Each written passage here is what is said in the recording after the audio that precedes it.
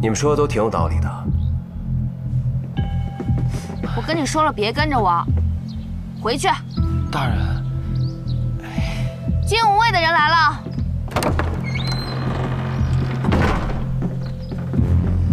什么事？李少卿，诸位，我就是来知会一声，今日南市客栈发生的命案属金无畏的管辖，大理寺的诸位就不用插手了。哎，你们金无畏的人怎么又来掺和了？怎么什么案子都抢啊？这案子明明是我们先接手的，那字条上都写了。消消气，呃，那就更应该避嫌了。此案的死者和金无畏所查的案件颇有关系。哎，你不要异想天开啊！既然如此，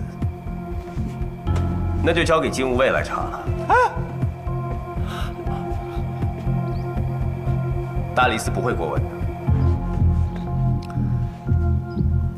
多谢李少卿，告辞。不是这，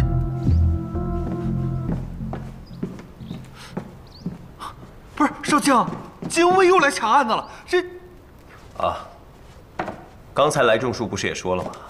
这事是他们管辖的，我们没有理由插手啊。